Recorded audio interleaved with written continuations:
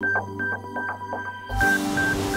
اسمحوا لي نرحب بضيفي العزيز واحد من رموز طبعا عالم علاج آه، الألم وعلاج آه، مشاكل العمود الفقري والاسم الكبير الاستاذ دكتور أيمن عنب أستاذ جراحات المخ والأعصاب والعمود الفقري الأستاذ بكلية طب قصر عيني جامعة القاهرة صاحب دبلومة علاج الألم بتنظيم فسيولوجية الجسم من ميلانو الإيطالية وزميل الجمعية العالمية لمنظير العمود الفقري بفرنسا. أهلا بيك يا دكتور أيمن. أهلا دكتور أيمن. منورنا. الله يخليك. اخترت عنوان اللعب بالنار. آه. هذا عنوان مثير جدا. جدا. لأن النار لازم تكون موجودة علشان تكون في حضارة. من غير نار مفيش حضارة. النار في الجسم تمثل الالتهاب. مفيش التهاب في الجسم مفيش شفاء. يعني النار مهما كان ليها ضرر بس ما نقدرش نستغنى عنها. والالتهاب مهما كان ليه ضرر الجسم ما يقدرش يتخلى عنه لإصلاح نفسه.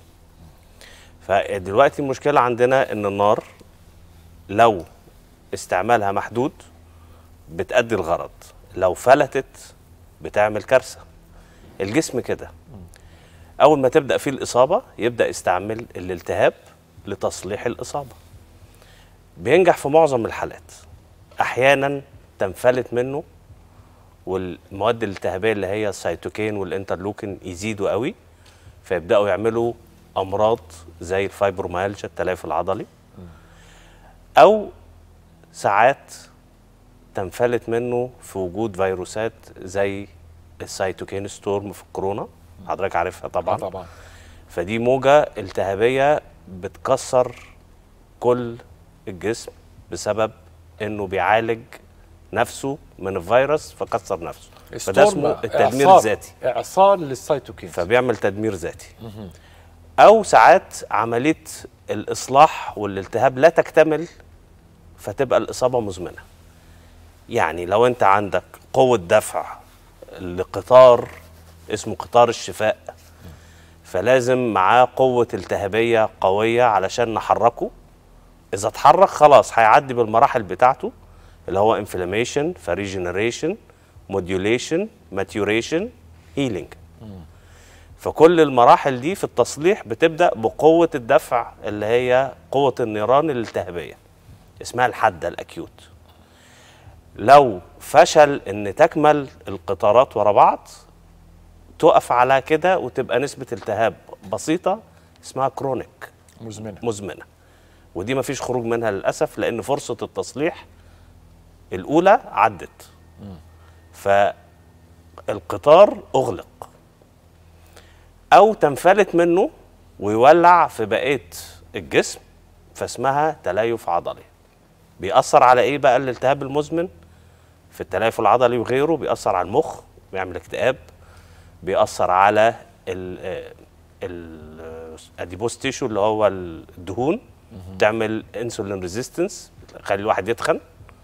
بتأثر على الكبد بتخلي ما يطلعش هيموجلوبين كويس فتجيب لك انيميا بيأثر على المفاصل فيها تآكل على التهاب ال synovial membrane اللي هو الأغشية فيعمل رشح فيقعد يكسر كده في الجسم والجسم يتفرج عليه مش قادر يبدأ التصليح لأن خلاص القوة الالتهابية الأولى انتهت.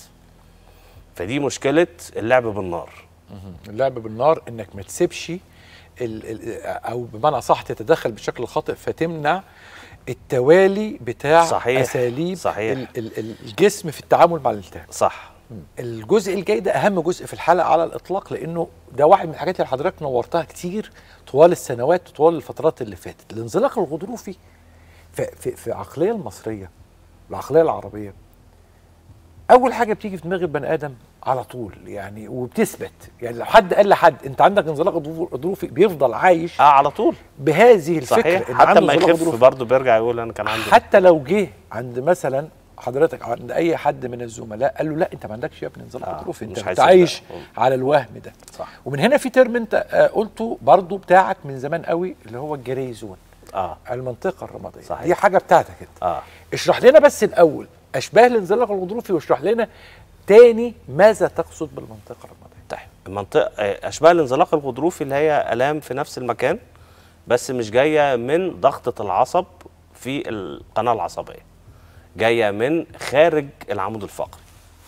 أوكي؟ فالغضروف دي آلام جاية من داخل العمود الفقري ليها منظر والآلام الخارج العمود الفقري ممكن تدي نفس المنظر بس التشخيص الدكتور بيطلع الفرق. العين مستحيل يطلع الفرق. زي العقد العضلية دي من أشهر الحاجات ونتيجة شيل الحاجات تقيله عضلة الكتف بتتمزق. فتبدأ تطلع الم تعمل صداع تسمع في الإيد تنميل. بس إحنا بالكشف بنلاقي حاجة اسمها تندر بوينت يعني نقط ألمية مؤلمة. التهابية أو مؤلمة. دي أكتر حاجة بتبان. إنما حركة الرقبة ما بتفرقش. ساعات الغضروف مع حركة الرقبة بتفرق. ساعات تلاقي العضلة خاسة ساعات تلاقي قوة إيده ضعفت. طبعا لو تطور أكتر من كده بيأثر على حركة الرجلين والمشي. الجراي زون دي منطقة غايبة عن الطب وغايبة عن المريض.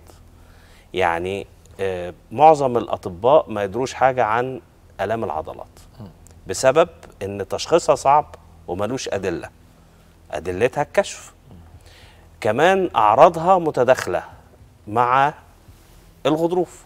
فالأسهل إن إحنا نبص على الأشعة على طول مش الأسهل إن إحنا نعالج المريض. زائد علاجها كمان صعب شوية فعلشان كده آه، مفيش تخصص داخل فيها. واقعة في الطب يعني. طب نشرحها أكتر. إيه هي ال gray zone نرجع للصورة اللي فاتت عشان أنا عايز أفهمها. إيه هي بقى ال gray zone ال gray zone إن مريض يا إما عنده غضروف فده معروف إن عنده غضروف وليه عملية. إنما آه، آه، مريض تاني كويس وسليم ده يا ابيض يا أسود. المنطقة الرمادية دي دي تشمل عدة تشخيصات بيتغلط فيها كتير جدا.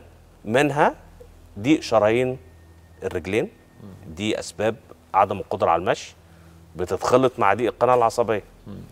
اتنين آلام العضلات وخصوصا عضلات الحوض ومفاصل الحوض.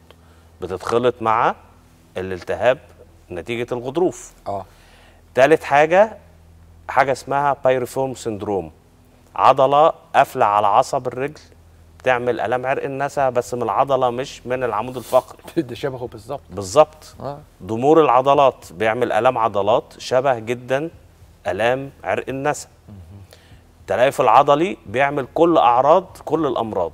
يعني مريض التليف العضلي ده أصلا مريض عادي وسطنا محدش شخصه وعمال يشتكي لكل الناس بكل الأمراض. إن عنده غضروف عنقي وعنده غضروف قطني وعنده خشونة وعنده التهاب وعنده اكتئاب وعنده تنميل وعنده حاجات كتير قوي. فالناس دي واقعة في الجري زون محدش عارف يطلعها لا هي لاقية تشخيص عدل ولا لاقية علاج عدل ولا عارفة عندها إيه بقى لها سنين. فبتضطر تعالج نفسها وبتدور على الخرافات بقى. ودول بقى ما هو ما حد يتقال له أنت عندك ساتيكا عندك عرق الناس وهو عنده العضلة هي اللي ضغط على العصب. هم إحنا متصورين ان اللي ضغط على العصب هو الغضروف وهي العضلة. فاقعد اعالج في الغضروف آه هعمل عملية في الغضروف وهو إلى اخره والعيان مش هيتحسن صحيح. فيقول لك إيه الألم رجع لي تاني الغضروف العملية باظت. صحيح. هي مش العملية باظت هي ما فيش عملية أساسا. يعني ما, ما كانش في داعي للجراحة في الحالة دي في الحالة دي. دي منطقة رمادية مهمة جدا. عاملة زي الضباب. هي فعلا تسمية صحيحة. لأن منطقة الضباب دي في فيلم اسمه الضباب فيلم مهم مهم جدا في السينما الأمريكية. والنسبة دي من المرضى كتير على فكرة. آه. كتير جدا يعني جداً. غالبية المرضى في الجري زون. آه. غالب مرضى كتير جدا في منطقة يعني حضرتك. من من آلام الغضروف الحقيقي لا تتجاوز 5% من آلام الظهر والرجل. آه. ف 95% واقعين في ال gray zone.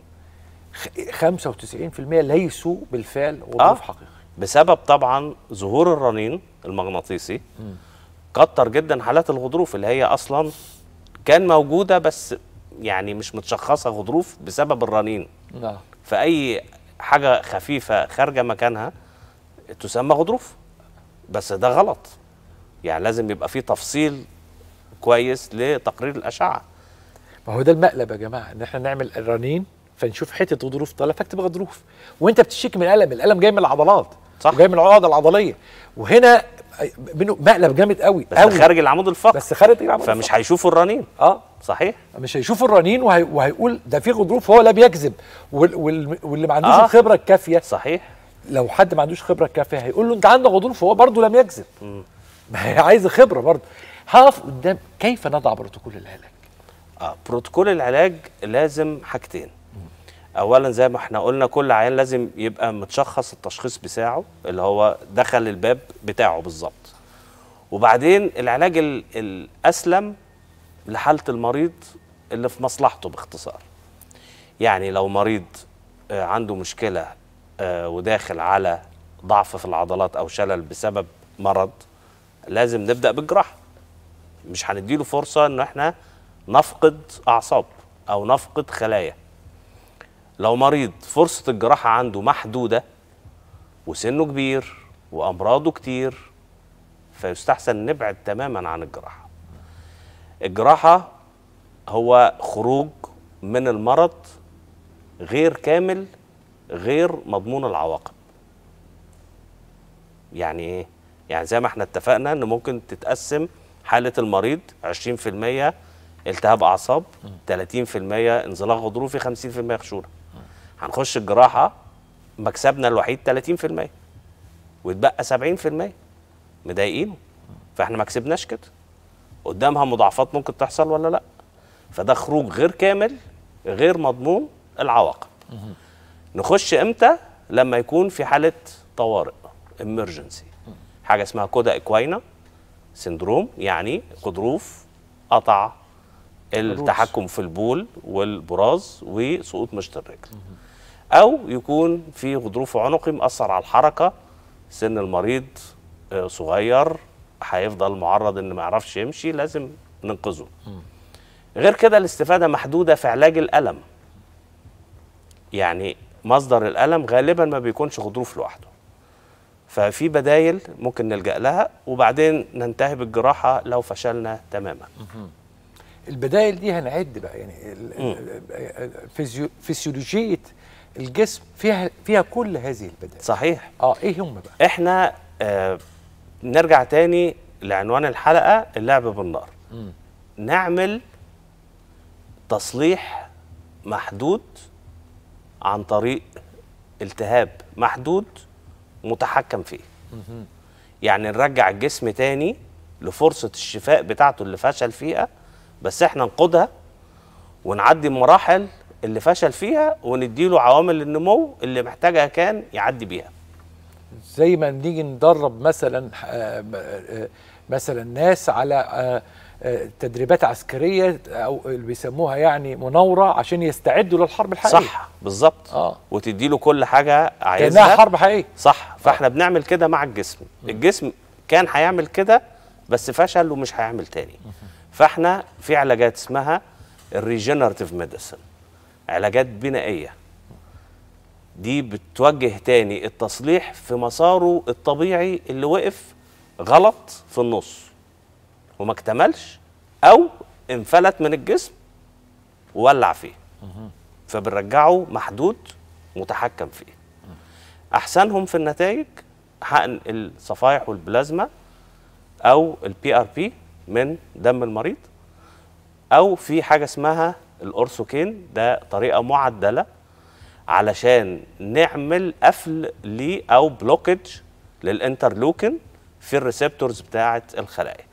نقفل آه، المناطق اللي بتخش فيها عوامل الالتهابية من الخلايا. فدي أحسن بكتير لما يكون عندك نار تطفيها وبعد كده تبدأ التجديد. أوكي.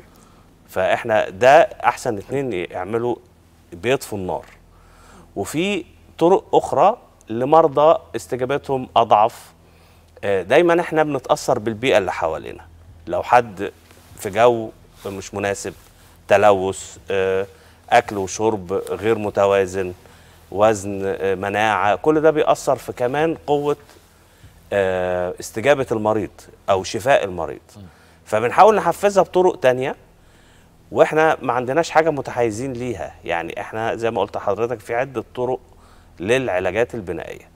أحسن اتنين PRP وال Orthokine يعتبروا الجيل الأول والجيل الثاني بعد كده نعالج نجدد مادة الكولاجين. دايما الناس بتفتكر إن الكولاجين بشرة وجلد.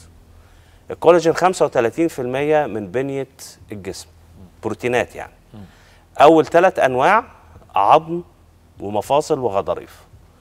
وآخر نوعين اللي هو الرابع والخامس ده جلد و connective tissue اللي هي ال- الأنسجة الضامة يعني هو موجود في كل منطقة في الجسم. ففي علاج كمان اسمه حقن الكولاجين. ده brand إيطالي متسجل في مصر وبنستعمله. والفكرة الرئيسية حتى في ال PRP إن جسمك يفرز مادة الكولاجين بخلايا اسمها ال fibroblast. يعني PRP فيه 37 نوع من عوامل النمو بتدخل 37 نوع من الخلايا البنائيه منهم ال fibroblast وال stem cells وال vascular cells اللي بتعمل دورة دموية للأنسجة الجديدة. ويبدأ بقى القطار يعدي في مراحله اللي هو ال regeneration وال maturation وال modulation بتاعت الأنسجة اللي هي تتشكل زي الأنسجة القديمة تماما. بيحقن بيحقن الكولاجين فين؟ في الجسم. الكولاجين آه بيتحقن subcutaneous تحت أو. ممكن intra آه articular جوه المفصل آه أو في المفصل. يعني على حسب إحنا عايزين نوصله لفين. وعلى حسب الإصابة فين. في ال ligaments في الأربطة دي سطحية ولا في العضلات ولا في المفصل نفسه. آه أنواعه مختلفة. عايزين نعالج العصب ولا العضلة. عايزين نعالج الغضروف ولا آه ال- التهاب الأربطة أو مزق الأربطة. ففي أماكن وطرق وتكنيك مختلف. بس كل الحقن آمن وبسيط ما بيوجعش زي الحاجات دي. آه وبيجدد معظم مناطق الجسم. آه هنا مثلا في واحدة من الإصابات المشهورة لعيب الكورة سواء مفصل الكاحل أو وتر اكيلس آه ده سيء جدا. جدا. آه ده ده وبعدين انهى بيعمل انهى إعاقة و- أنهى لاعبين أنهى آه. حياه لاعبين كتير. للأسف. آه. آه. و... وناس كتيرة بتقعد إصابات ورا بعض. يعني كل ما يعني يبدأ يتحسن رجله تتني تبدأ تتمزق أو يجبسها أو عمل عملية وحصل آه، scar في ال ligament يعني آه، التحم بأنسجة ليفية. فما بقتش تقدر تشيل الوزن. ضعفت يعني. فهو بيجددها تاني. آه، tennis elbow ده من الحاجات المشهورة برضو. أي حد بيرفع حاجة تقيلة دايما يتمزق ويبدأ يعمل آلام في في إيده عنيفة. دي برضو ممكن تتشخص غلط غضروف بس ده اسمه tennis elbow التهاب وتر ال- التهاب وتر. اليد آه اليد آه. طبعا م- مفصل الكتف برضو ممكن frozen shoulder أو برضو يتشخص غلط إنه غضروف أو ساعات بيبقى نتيجة حاجة اسمها ال brachial plexus injury التهاب في الضفيرة العصبية بيعمل ضمور في عضلة ال- الكتف ويبدأ يعمل تيبس في مفصل الكتف فبرضو ال- بيساعد ال PRP خنقة العصب دي مشهورة في السيدات. ده خنقة العصب مشهورة في كله. أيوه. هو ست هو علميا في الكتب بيقولوا الستات أكتر ال female آه، أكتر صحيح. لكن إحنا بنشوفها في كل في كله صحيح. آه. هي برضو من أحسن نتائج فيها حقن ال PRP وال growth factor أها. دي دي بتخلي الست ما بتقدرش تمسك حاجة يا عيني والراجل ما يقدرش يسوق. هو بقى كله موبايلات دلوقتي وكله ايديه منملة برضه فبقى يعني موضوع مشهور حقيقي. آه. آه ودي برضو- العقده العضلية دي حاجة مشهورة جدا. آه دي trapezius دي من أسوأ الحاجات آه، اللي بتعمل ألم ومزعجة جدا لمعظم الناس تحس إنك ماشي متكتف أكن جبل شايله على كتفك. فبرضه حقنها بيفكها والعضلة بتبدأ ت- تجدد نفسها ونتائج كويسة. حقن. العقد العضلية كل الناس عندها عقد عضلية مفيش حد ما عندوش لا مفيش. آه. طبعا مع التكييف وال التكييفات يا خرابي على التكييفات التكييفات دي مدمرة الكمبيوتر وفي ناس بتقعد كتير قوي شغلها على الكمبيوتر وكمبيوتر وتكييف آه يعني صحيح. هو عنده عنده كل آه، عوامل يعني الكمبيوتر آه، تكييف كل عوامل. كل عوامل ولما الدمار. أروح اتفرج على التلفزيون فهو كده كده ما هو حياة الناس بقت كلها على كراسي sedentary life آه، الكراسي. صحيح ال PRP أو الاساليب الحديثة وال prolotherapy برضو آه prolotherapy آه ديكستروز 25% برضو ميزته بيعمل بقى في الأربطة أقوى جدا. يعني الحالات اللي عايزين نقوي الأربطة سواء خلصنا PRP أو في النص بنستعمله زائد ال PRP بيساعدنا في حاجة اسمها ضيق القناة العصبية بسبب الخشونة. فزي ما قلت لحضرتك هو ال- الانواع مختلفة للعلاجات البنائية اختيارها على حسب حالة المريض. حسب استجابة المريض والمرحلة اللي عايزين نعديها أو نوصل لها. لأن العيان حالته بتتعالج على كذا مرحلة. وفي الآخر بنوصل إن إحنا نتمم الشفاء بإن إحنا بنبدل إن شاء الله. عندي أسئلة بقى سريعة وإجابات لا سريعه اتفضل. ال- السؤال السريع الأول. دايما السؤال ده بي بي بي ناس كتير دلوقتي المفروض تسأله وتفهمه. PRP يحتاج إلى طبيب متخصص أو بمعنى أصح تخصص علاج الألم.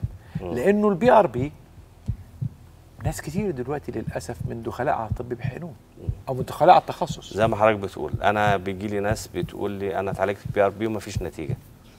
آه، هو كده يعني حرق فرصته المثالية في الشفاء بال PRP ال PRP هو آه، تركيزات مختلفة نتيجة فصل بأجهزة مختلفة. زائد كمية ال ال العينة اللي هناخدها قد إيه تناسب حالته. زائد طبعا نرجع للبداية خالص التشخيص. إحنا ماشيين في اتجاه؟ هل أصلا هو ده علاجه ولا لأ؟ هل علاجه لأ وحده ولا لأ؟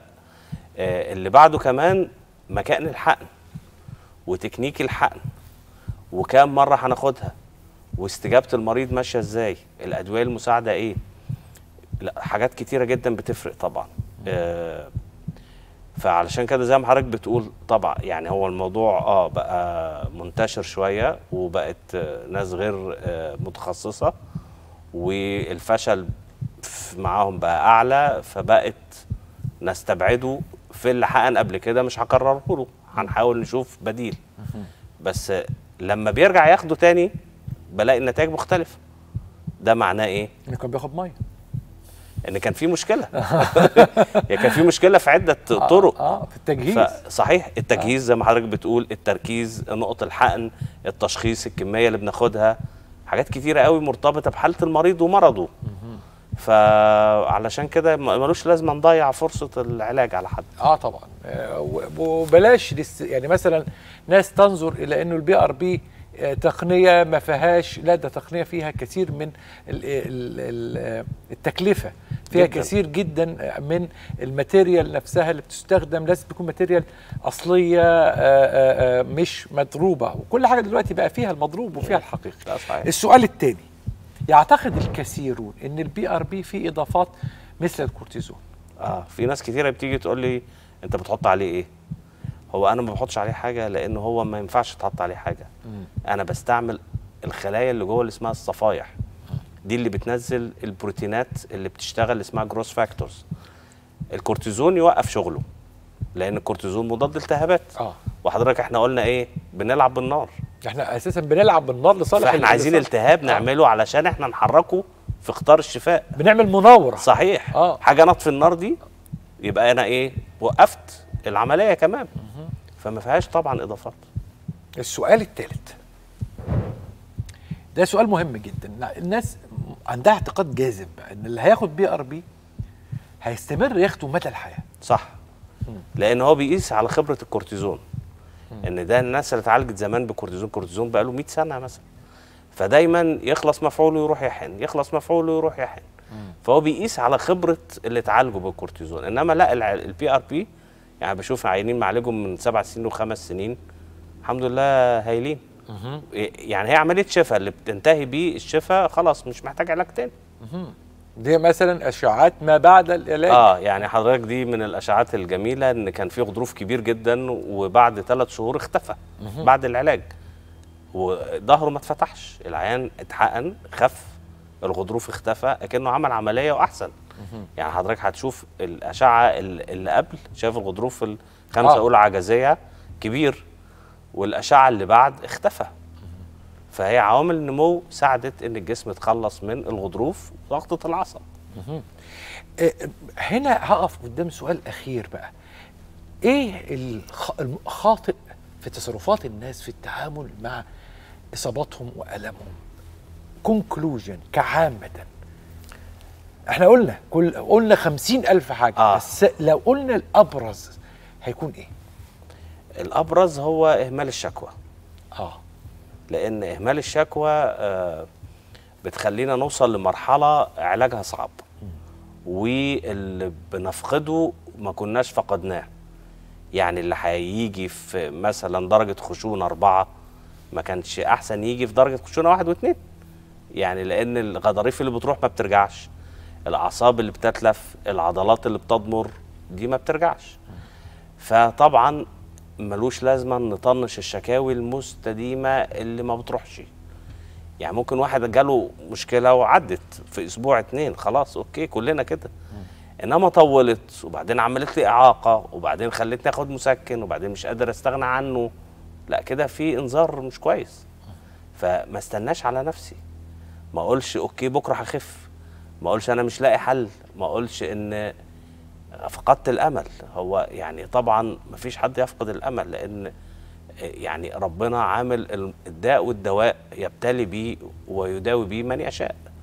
فيعني ملوش لازمة ان إحنا نفقد الامل ودايما ربنا عنده الشفاء.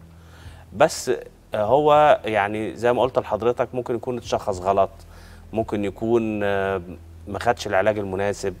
ممكن يكون آه، لسه ما جاش ميعاد إن ربنا يشفيه. فيدعي ربنا ويتوجه للعلاج المناسب ليه. التوجه للعلاج المناسب واكتشاف طبيعة المرض الحقيقية بدون الوقوع في هذه المنطقة الرمادية من اللخبطة. وفهم الدقيق لكلمة DD في الطب differential diagnosis الاحتمالات التشخيصية. الاحتمالات التشخيصية دي هي لب البرنامج ده. إحنا لما عملنا البرنامج ده من سنين كان هدفنا الأساسي إن إحنا نوضح للناس إن مش كل التشخيص في الطب إن الطب ده مش شيء سهل. إن صداع يعني معناه إن أنت عندك ضغط بس. أو إن مثلا آه، عدم القدرة على البلع ده معناها مشكلة بس في المريء. أو إن هجان يبقى معناها إن الرئة فيها مشكلة. لا في احتمالات تانية. زي ما بيكون الألم كمان. جرس إنذار هو جرس إنذار لكتير جدا من الاحتمالات. جرس إنذار إحنا بس مش عارفين هو جاي من أنهي غرفة. ممكن يكون جاي من غرفة الانزلاق الغضروفي ممكن من العضلات ممكن يكون من الأوتار ممكن يكون من الأربطة ممكن يكون من النسيج الدهني لوحده. ده كارثة. يقدر يعمل آلام شديدة للغاية. النهارده حوار ممتع جدا وسعادتك نورت كالعادة يخليك. شكرا دكتور في واحدة من أجمل الحلقات. أنا نفسي قعدت النهاردة استمتعت وعلى فكرة النهاردة يستفيد جدا. الفيلد الرياضي المجال الرياضي كله يستفيد النهاردة من الحوار بتاعنا. وطبعا ال- الناس العاديين لأن الناس كلها دلوقتي بتلعب رياضة. ما الأتوبيسات والجري ولا أكل العيش ما هو ده الرياضة. ضيف العزيز القيمة العلمية المتميزة والاسم اللامع الأستاذ الدكتور أيمن عنب أستاذ جراحات المخ والأعصاب والعمود الفقري الأستاذ بكلية طب قصر عيني جامعة القاهرة صاحب دبلومة علاج الألم بتنظيم فسيولوجيا الجسم من ميلانو الإيطالية وزميل الجمعية العالمية لمناظير العمود الفقري الفرنسية كان ضيفي في الدكتور خليكم دايما مع الدكتور.